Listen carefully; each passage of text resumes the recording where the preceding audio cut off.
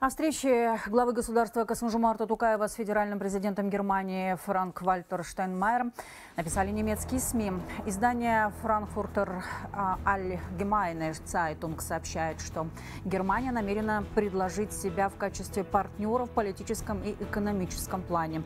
Также растет стратегический интерес Германии к укреплению отношений с Центральной Азией.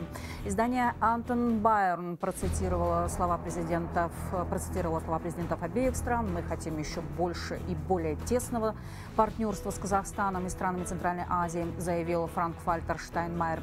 Касумжумар Тукаев выразил надежду, что наше сотрудничество выйдет на новый уровень.